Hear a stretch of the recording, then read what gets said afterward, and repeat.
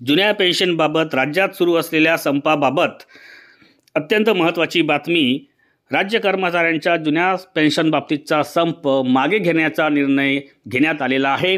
एकंदरीत मुख्यमंत्री आणि उपमुख्यमंत्री यांच्यासोबत समन्वय समितीची झालेली बैठक सकारात्मक झालेली असून या बैठकीमध्ये जुन्या पेन्शनबद्दलचा तोडगा निघाला असल्याची सूत्रांची माहिती मिळालेली आहे आणि याबाबतीत विश्वास काटकर यांनी आपले मत व्यक्त केलेले आहे. आणि मी आपल्याला या ठिकाणी घोषित करू इच्छितो की ही चर्चा यशस्वी झाली. ही चर्चा यशस्वी झाली. कारण आमचा मूळ प्रश्न किंवा आमची मूळ मागणी ही सर्व कर्मचाऱ्यांना जुनी पेन्शन योजना पूर्वलक्षी प्रभावाने लागू करा. अशा आज शासनाने या संबंधात गेल्या सात दिवसात वेगवेगळे ऍक्शन त्या ठिकाणी घेतलेलं आहे आणि आज त्यांनी स्पष्ट केलं की आम्ही या विषयाचा गंभीरपणे विचार करत आहोत. आणि या विषयाची माहिती सर्व यथास्थित मिळवण्यासाठी आणि त्यातून निर्णय घेण्यासाठी योग्य तो एक समिती आम्ही नेमलेली आहे. ती समिती पहिल्यांदा आम्ही नाकारली होती परंतु एकंदरीत राज्य शासनाने आणखी एक सकारात्मक मुद्दा त्या ठिकाणी आज प्रस्तुत केला तो असा की प्रिन्सिपल म्हणून आम्ही ही जी जुनी पेन्शन योजनेसंबंधातली भूमिका तुमची आहे ती आम्ही स्वीकारलेली आहे. थोडक्यात जुन्या पेन्शन मुळे नव्या पेन्शनची तुलना करताना जुनी आणि नवी यांच्यामध्ये मोठं आर्थिक त्या ठिकाणी अंतर होतं. त्यामुळे हे अंतर नष्ट करून जुनी नवी पेन्शन यापुढे जरी आली तरी सर्वांना समान वेतन निवृत्ती कुठल्याही त्या ठिकाणी? अंतर राहणार नाही अशा स्वरूपाची भूमिका घेऊन तसं लेखी स्वरूपात शासनाने आम्हाला त्या ठिकाणी अवगत केलेलं आहे. आणि त्यामुळे यापुढे जुनी पेन्शन योजना ही त्या ठिकाणी निश्चितपणे महाराष्ट्रात सुरू होईल आणि महाराष्ट्रामध्ये ती सुरू होताना ती अत्यंत निकोप असावी. आर्थिक दृष्टीने त्यांची व्यवस्थित घडी बसावी. यासाठी जो अभ्यास केलेला आहे तो अभ्यास समिती निश्चितच योग्य प्रमाणात विचार करेल.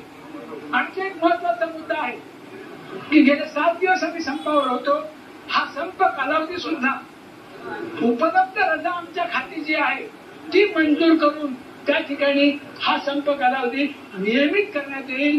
त्याचबरोबर ज्यांना ज्यांना नोटीसच गेलेल्या आहेत कार्यवाही संबंधात त्या नोटिसा सुद्धा आम्ही मागे घेऊ.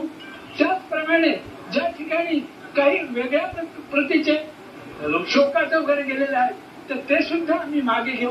अशा प्रकारचे निसंदिग्ध आश्वासन माननीय मुख्यमंत्री एकनाथराव शिंदे यांनी आम्हाला त्या ठिकाणी दिलेलं आहे. आम्ही शासनाचे निश्चित आभारी आहोत. किंबहुना शासनाने जी संवेदनशील भूमिका घेऊन या संपकरांना समजून घेतलं त्याबद्दल निश्चितच हे शासन निश्चित या संबंधातली जी कार्यवाही अग्रक्रमाने जाऊन किंवा शीघ्र गतीने करण्याची आवश्यकता आहे ती करेल अशा प्रकारचा विश्वास वाटतो. मी माझ्या तमाम महाराष्ट्रातल्या सर्व बंद भगिनींना शिक्षकांना या ठिकाणी सांगू इच्छितो की त्यांनी उद्यापासून कामावरती हजर राहायचं आहे.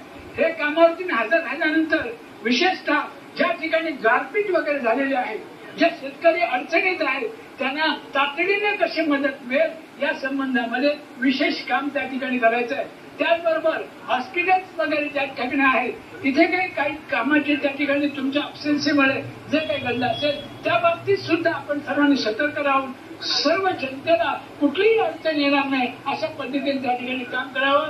अशा पद्धतीचे सर्वांना सूचना या संघटनेमार्फत दिलेल्या आहेत.